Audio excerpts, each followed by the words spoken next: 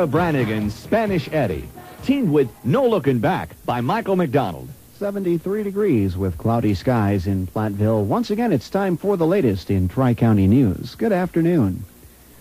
One of the two Grant County court cases concerning possession of controlled substances with intent to deliver has been resolved.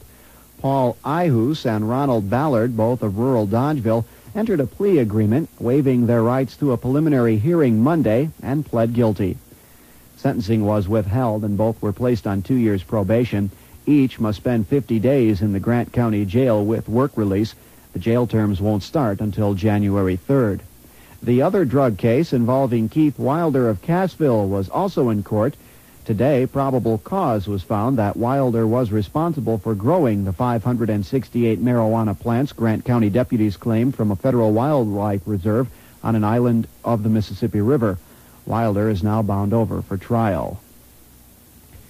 The Grant County Employment Relations Committee decided this morning that Grant County needs a personnel director and plans to have one hired by January 1st. The committee will forward its recommendation to the Finance Committee, and they in turn will forward a recommendation to the full county board for their October meeting. Employee Relations Committee member Harold Shipley questioned how the county can pay for such a position. But County Board Chair Mary Worth said the county is currently spending money for a personal consultant plus union attorney fees. Other committee members voiced the opinion that the county should have had such a position 10 years ago. No salary level was included in the action. Discussion centered on the salary being commensurate with the expenses. The Darlington School Board has decided it's time to formally organize the Student Assistance Program. The board reviewed what it has online right now during their meeting last night. High school principal Dave Schellavold said so far the community support group is organized.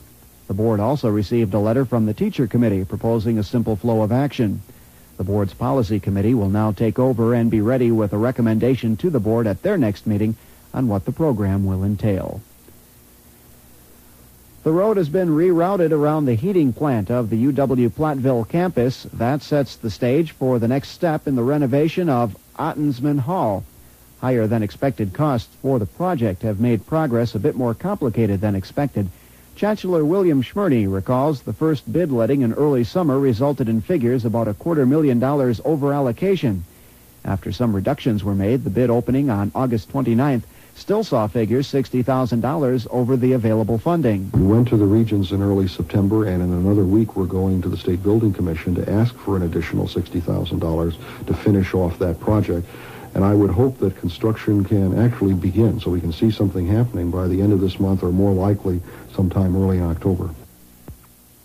Chancellor William Schmerne. Partly cloudy with a chance of showers and thunderstorms this evening. We'll see a low of 63 degrees with a south wind at 8 to 18 miles per hour. A chance of showers and thunderstorms continuing early tomorrow, then mostly sunny by the afternoon, 83 for Wednesday. Thursday, partly cloudy, and again the high 83 degrees. 73 with gray skies. That's the latest in Tri-County News. The posse can go home. Two fugitives suspected of killing a state trooper have been caught in the mountains of North Carolina. The two men had escaped from an Arkansas prison and prompted the swearing in of a 300-member posse that had been chasing the two since Saturday.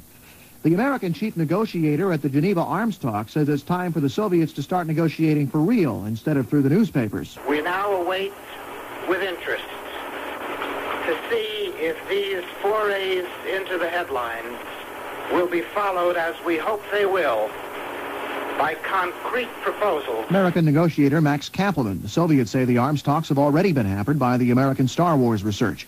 With the United States now owing more money to foreign countries than they owe the U.S., Congress is stepping up the effort to pass a trade bill. We have got to set down some rules which stop short of trade bashing, but leave no doubt that America is ready to fight barrier with barrier. House Ways and Means Committee Chairman Dan Rostenkowski. The goal is simple. Our goal is to make smoking as socially unacceptable in the years ahead as it was acceptable in the 1930s and 1940s. That's former Surgeon General Jesse Steinfeld. Three national health organizations have launched a media blitz around the new warning labels that will be going on cigarette packages and advertisements. Those new labels will first start showing up next month. There may soon be some new immigrants coming to the United States from Cuba. The National Conference of Catholic Bishops says Cuba is planning to release a number of political prisoners. A list of approximately 70 or 75 people was given to us by the Cuban government. The vast majority of them are uh, people who are being released at the initiative of the Cuban government. Monsignor Daniel Hoye of the Conference of Catholic Bishops says the next step is for the United States Immigration and Naturalization Service to screen the prisoners and determine if they are eligible to enter the United States. From the CBS Newsroom, I'm Pat Woodard. At home or on the go, WKPL Platteville is playing your favorite adult rock hits all day long.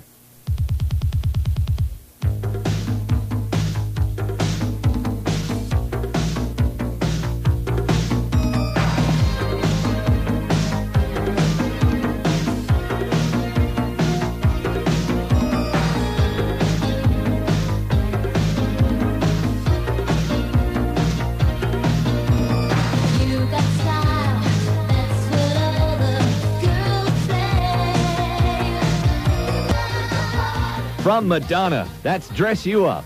And Cock Robin is on the way later. All alone I sit, looking out of the window, and the rain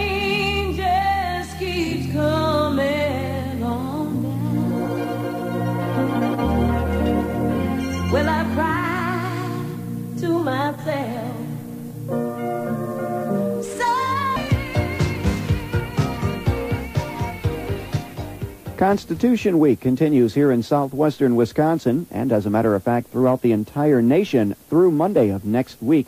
The Constitution is the oldest still in active use in the world today, and it is, of course, the basic document of the United States government.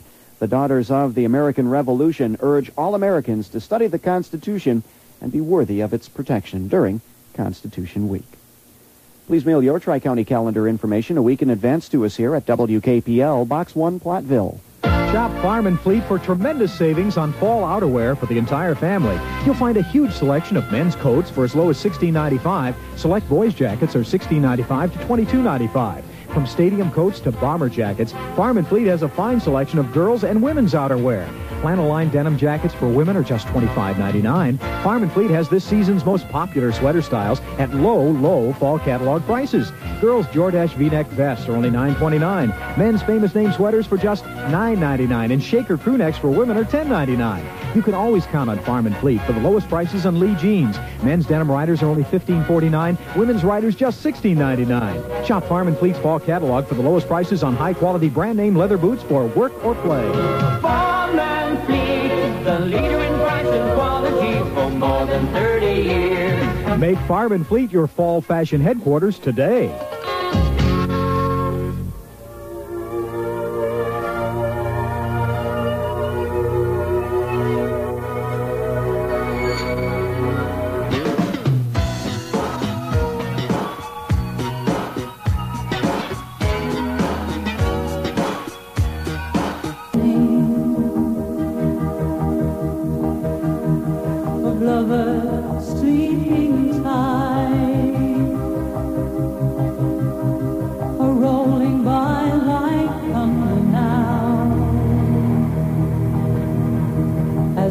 Look in your eyes.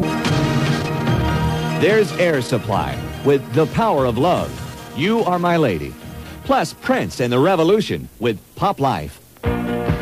Your chance to win Brewer tickets has come to FM 107. We will give you Brewer updates whenever the Brewers are in action. Be listening because those updates could make you a winner. We have tickets for the September 29th game with Toronto, and they could be yours. The way to win is easy. Just be the right caller when we give you a Brewer update. Free